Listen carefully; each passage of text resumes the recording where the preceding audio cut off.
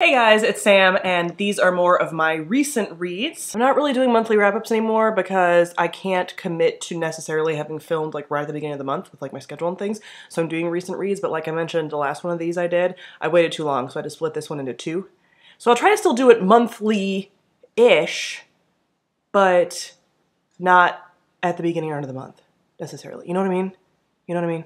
Uh, so yeah, they'll pop up approximately monthly. I finally read The Mad Ship by Robin Hobb. Uh, these last couple of months, you'll have noticed, because I talked about Words of Radiance in the last video, that I'm continuing with series that have big, chunky books in them. And so I read The Mad Ship.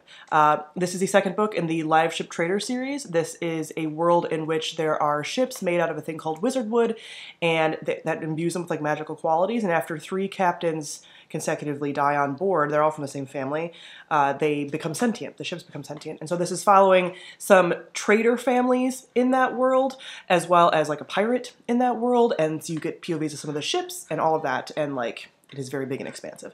So I actually have some conflicting feelings about The Mad Ship uh, because I was reading this for so long. I was reading this book for nearly a month. I was reading other things between it. Like I was reading, um, I usually always have a physical book going and then I'll have like an audiobook uh, and then usually like a nonfiction of some kind. So it wasn't that I was just stuck in this the whole time, and it wasn't a book I wanted to DNF necessarily. It is just so heavy and long and slow and like character driven, but that's also what makes it really great. So I'm gonna be doing a full review talking about this and probably a gush slash discussion um, because this is so like there isn't anything that you can really edit down about in these books. Like everything it gives you, it has importance because it is very character driven and the character arcs are immaculate. But also, Robin Hobb makes her characters suffer so much that you're like, like this is at, at, this point my fifth Robin Hobb book that I've read because I read the first three Farseer books, which is the first trilogy. Then the second trilogy is in a different part of the world, so I read the first one, not this one. And so I've been in it long enough to know that like if the characters are planning something that you're optimistic about, you're like, I really want that to work out. It's probably not going to. And that's actually hard to read for like 900 pages. Yeah, I have every faith that like things generally will be maybe like okay-ish positive maybe by the end, but like who knows? You know? So there's a lot of things I love about this, the character arcs and things. There are characters in here who are just like so fascinating. You really have to read these books for the character study. Like the world is very cool and there's some really cool world elements and things, but the characters are where it, it really is at. And there are really with few exceptions. There's a few characters who are like straight up villains, but the villains even are like very compelling. And then most of the characters are neither like bad or good. Like they're so, and I won't even call them morally gray because I think it's more complex than that. Like we hear morally gray and we think of something very specific.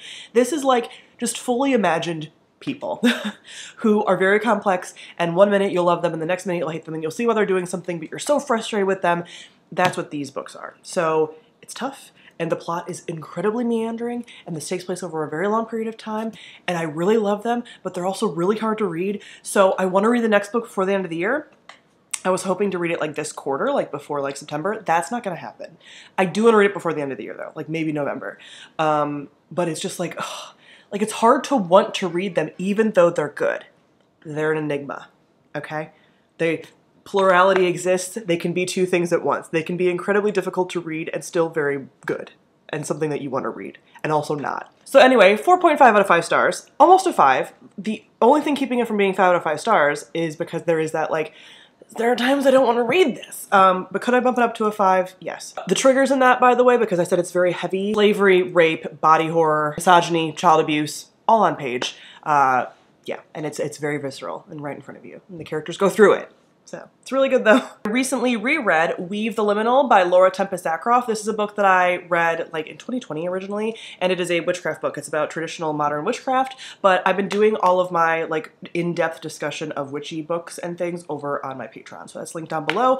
I just want to discuss witchy stuff on a more like personal level and like the smaller community of Patreon feels more apt for that. So anyway, I reread this. I gave it five stars on first read, four stars on reread, and I have a post explaining why that is. Then I read What Feasts at Night by T. Kingfisher. I love T. Kingfisher. I want to read more T. Kingfisher. I might completely abandon what I have as my kind of October TBR because I'm trying to read all the books on my shelf that were there at the beginning of the year before the end of the year, right? Remember that goal that I have if you've been around? But part of me wants to just abandon all of it to just read a lot of T. Kingfisher because T. Kingfisher does just like cozy horror so well. Some of you might say that's a cozy horror can't, can't go together. They can. What Feasts at Night is the second book in the Sworn Soldier series. I think there's going to be more right now. It's just a duology. Uh, and this follows a character who is a uh, non-binary soldier living in this like fictional place sort of around like World War One, but it's like a fantasy World War One. Like it's it's like there's some real places and there's some not real places mixed in. Anyway, they end up in these situations in the first book, which was uh, What Feeds the Dead. Um, where like something is happening, they're not sure if it's like magic or if it's science, and sometimes it's kind of a mix of both, uh, and stuff ensues.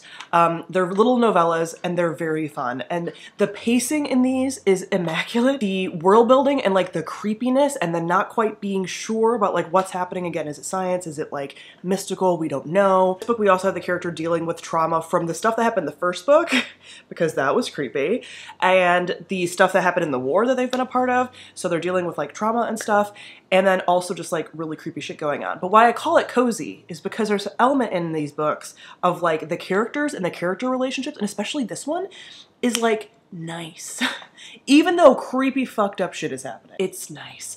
And yeah, I think it's there's something about it usually being like in this case they are in a uh, they're like family homestead kind of.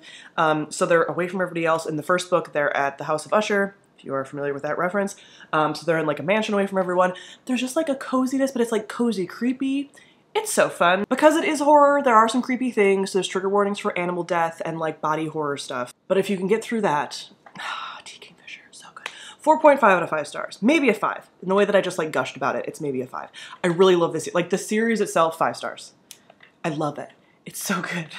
But like, I'm a big baby. So I usually can't read scary stuff. This is like just the right amount of spooky. Just the right amount of spooky. It's so good. Then I continued on with my chunky books with the fourth book in the Expanse series, Cibola Burn. Cibola Burn? Cibola Burn. I'm pretty sure it's Cibola Burn. They never actually say the titles in the books like this. They don't. They don't talk about these things. Anyway, I recently started watching the Expanse TV show with one of my partners, and I like love it. And so I was getting re-immersed in this, and I was like, I want to continue reading the series. So if you're not familiar, this is a adult sci-fi series that is space opera-y. So there's like all of these political machinations things going on. It's multiple POV. Every book so far always at least features James Holden, who's like the main character of the series, although not even the most likable character in the series. And then each book also has some additional POVs in it about what's happening. Like he this this man ends up involved in so many political machinations things. So you have like Earth versus Mars versus the people that are out in the asteroid belt, and those are all very different cultures, and some of the people want to be at war, and there's all these different factors, but there's also a weird alien virus that can completely transform you that has been unleashed on us. And so like it's kind of Game of Thrones level politicking with like this really big threat.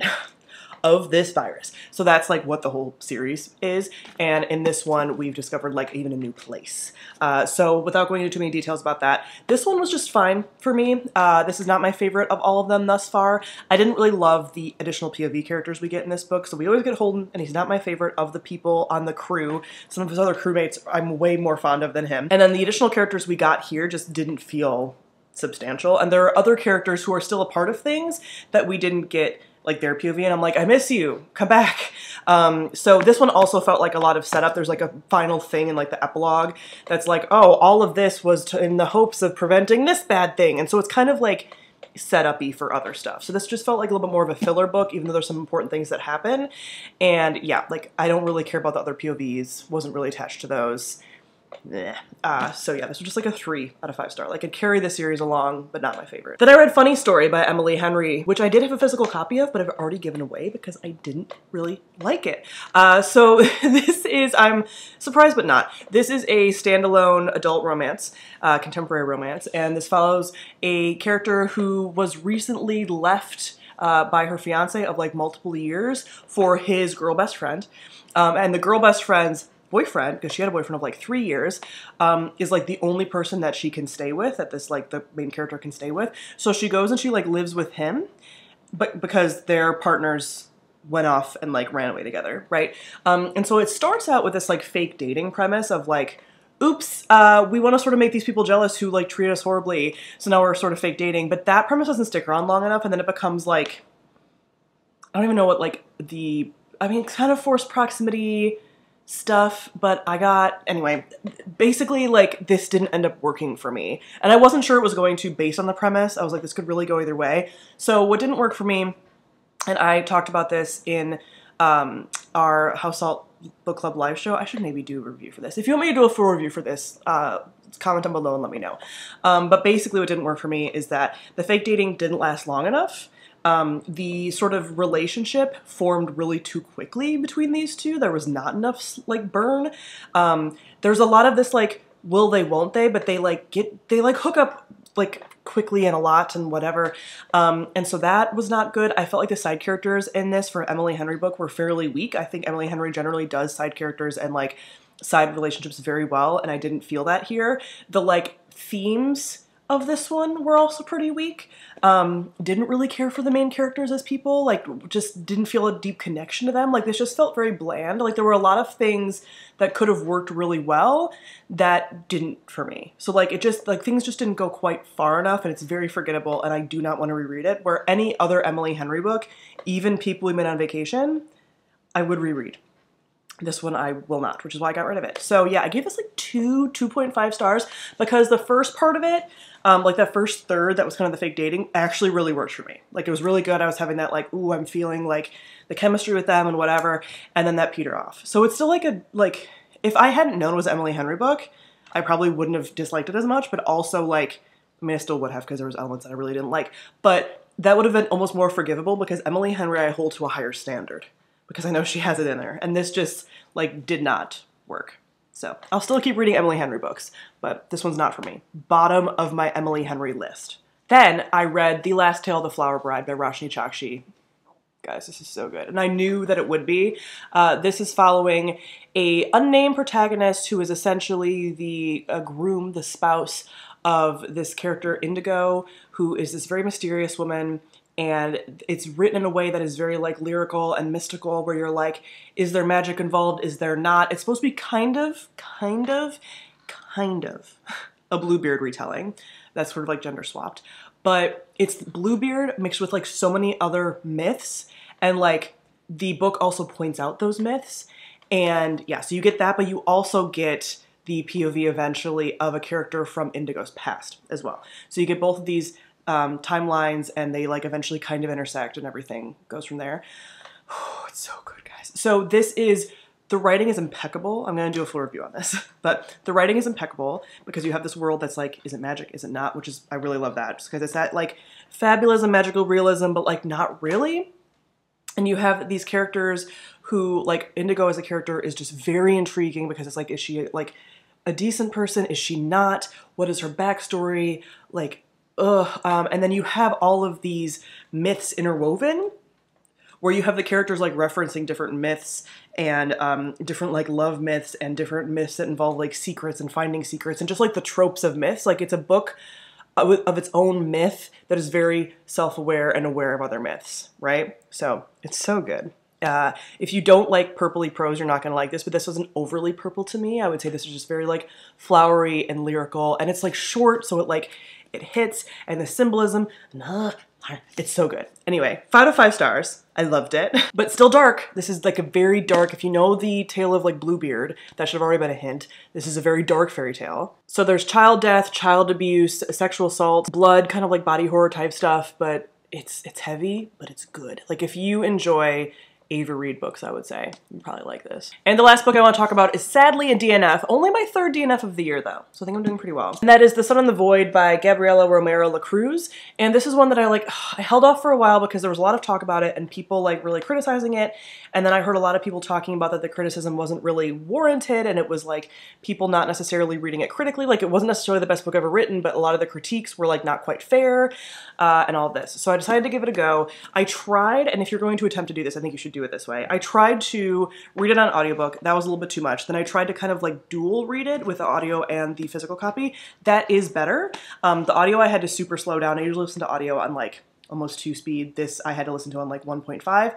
But this is following two POVs of um, two women in this fantasy world who are a mix of like human and some other creature. So there's like um, Valkos, which are um, creatures like with horns um, and things, and then there's um, no, Nos, Nosriels, I I'm forgetting how they say it now, um, who have like prehensile tails um, and like ridges on their nose and like fingers and things, and they're kind of seen as like the worst ones, like most bestial. And there's one other one I'm forgetting. I don't think we actually get to see those, but there's one other one.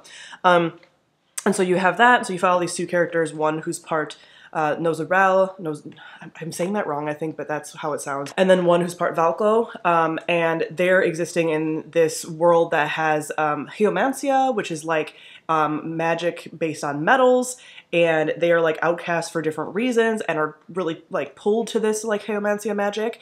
And there's like gods. So in case you can't tell, this is a very convoluted, heavy world building story and that's part of why I DNF'd because it ended up not working because there's so many moving pieces. So we have these two POVs and we are in, we're not switching back and forth enough in the writing to like kind of keep track of what's going on with them because we'll be in one POV for like a long time and then we'll switch back to the other one. And you're like, what the heck is going on? Because at least at the beginning, they are not intertwined at all. I got almost 200 pages in and they still hadn't like crossed paths or anything.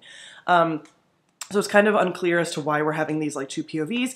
The characters also don't feel like distinct enough for me. Like there are lots of things about their stories that overlap in a way that makes their like narrative voices not like super distinct. And then the world building is really cool. Like you have these like dark gods and you have um, all these different kinds of like magic that you can do with these different metals and like the different political like factions and stuff and the different like types of sort of creatures and like hybrid people. But there's so much and there's so many pieces that it's like it's so convoluted. Um, and yeah, and like I said, the characters don't really feel like very distinct. And then there's like so many characters and so many names and it's using like a lot of Spanish, which again is just like very confusing. It's not a bad thing, but when you have so much world building and then some of the world building is in like sort of a different language, it becomes like very confusing. So yeah, I highly recommend the audiobook if you're going to attempt this because the audiobook like pronunciations and narration is really good. And then reading it alongside because there's a map and there's um, like a glossary in the back for terms. But yeah, there were things not even just about the world building. I think I could push through that, but like the pacing, the narration, um, just the heaviness of the world building uh, and like the need for editing all of that just made it where I was like, I, I can't keep pushing through this, unfortunately. Which is a shame, because I would have liked to have seen where it went, but yeah. So I DNF'd this at like 30%, which I think is a solid go. Uh, and I, I, feel like a lot of people were pretty disappointed with this for various reasons, so I gave it a good college try. So that is it for all the books that I've read recently. Comment down below and let me know what books you've read recently, if you are going to read any of these. Thank you all for watching, and I'll see you guys soon. Bye!